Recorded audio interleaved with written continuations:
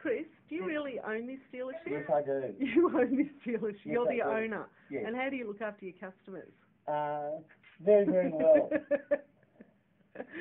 will you do will you do a great deal if they feed you a banana? Absolutely. Because I'm working with monkeys.